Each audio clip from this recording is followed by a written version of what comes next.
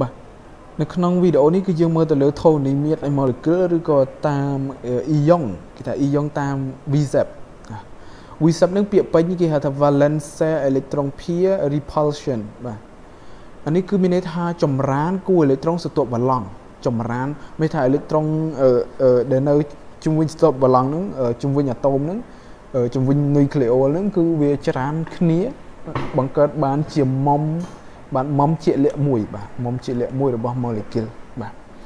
VSEP គឺជាទ្រឹស្ដីទៅតាមគោលការណ៍ច្រានអេឡិចត្រូនសន្ទាប់បឡង់អឺគឺគឺកំណត់អំពីធននិមិត្តបាទធននិមិត្តគឺរូបរាងបាទរូបរាងរបស់របស់ molecule ដោយយើង A យើងតាំងដោយអាតូមកណ្ដាលហើយ X XM គឺយើងតាំងដោយអាតូមដែលនៅជាមួយអាតូមកណ្ដាល A ហ្នឹងចំពោះ E E ហ្នឹង EN ហ្នឹងគឺយើងតាំងឲ្យចំនួនអេឡិចត្រូនសេរីដែលនៅជុំវិញអាតូមកណ្ដាលបាទត្រីដែលនៅជុំវិញអាតូមកណ្ដាលយើងតាំងអារូបមន្តយើងយើងកំណត់រូបមន្តនេះគឺដើម្បីដើម្បីយើងទាយទៅលើតម្រង់ធននិមិត្តរបស់វាបាទឧទាហរណ៍យើងមើល AX2 បាទ AX2 ប្រភេទ AX2 នេះបាទមានន័យថា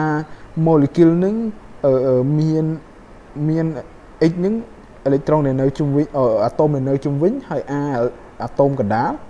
កាលណាមាន AX2 អញ្ចឹងគឺធននិមិត្តវាមានរាងជា linear បាទឧទាហរណ៍យើងមើល CO CO2 ឃើញឃើញ A ហ្នឹងអាតូមកណ្ដាលគឺកាបូនបាទ O សងខាងហ្នឹង O សងខាង2ហ្នឹងគឺអឺអាតូមនៅសងខាងហ្នឹងបាទ magnesium chloro បាទ chloro គឺ HCN បាទនេះគឺសត្វតលីនេះអេ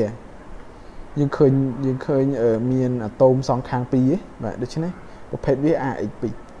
បើមិនសិន AX3 វិញគឺជាត្រីកោណបាទជាត្រីកោណអឺដែលអាតូមកណ្ដាលអញ្ចឹងមកហើយអាតូមសងខាងនៅរៀងជាយើងត្រីកោណអញ្ចឹងមានអឺ AlCl3 CO3 2ដកអីចឹងទៅបាទនិយាយទៅវាមានកតុយ3 3 3អញ្ចឹងបាទវាមានអាតូមនៅជុំវិញ3និយាយចឹងបាទអាតូមជុំវិញ3អាតូមកណ្ដាល AX4 គឺចាក់ទៅមុខបាទចាក់ទៅមុខគឺដូចជាមេតានអីហ្នឹងជាដើមគឺនិយាយទៅគឺមានកបអាតូមចំកណ្ដាលមួយអាតូមសង្ខាង4បាទចំកណ្ដាលមួយសង្ខាង4សង្ខាង4ទាំងអស់នេះឃើញ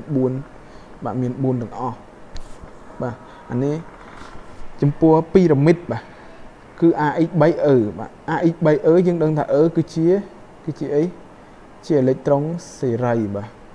អេឡិចត្រូនដែលអេឡិចត្រូនសេរីអេឡិចត្រូនមិនចងសម្ព័ន្ធហ្នឹងបាទដូចជាអាម៉ូញ៉ាអីហ្នឹងគឺវាមានអេឡិចត្រូនសេរីនៅលើចឹងមួយបាទអ៊ីដ្រូញូមហ្នឹងក៏ដូចគ្នាបាទ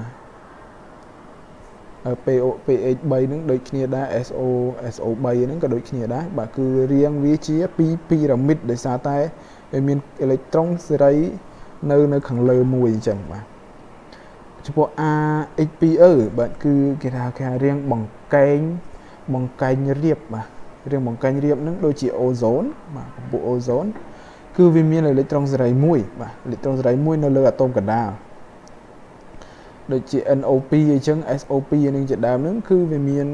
អាតូមកណ្ដាលរបស់វាមានអេឡិចត្រូនសេរីមួយបាទហើយ AX AX2E2 គឺបង្កែង រាងជាអក្សរ V អានេះគឺមានន័យថាអេឡិចត្រូនសេរីរបស់វាមាន2នៅលើអាតូមកណ្ដាលបាទដូចជាទឹកបាទទឹកយើងអាចសរសេរថា H បាទហើយ O អញ្ចឹងមកហើយបាទ E ត្រូវសែនអញ្ចឹងមកទៀតគឺរៀងវាអញ្ចឹងបាទរៀងវាជាបង្កែងឬវារៀងជាវាអក្សរ V ដោយសារវាមានគូអេឡិចត្រូននៅសងខាងវា2ចឹងបាទសងខាង2ចឹងឬក៏ SP HPS ឬក៏ NH នឹងជាដើមអញ្ចឹងមេរៀន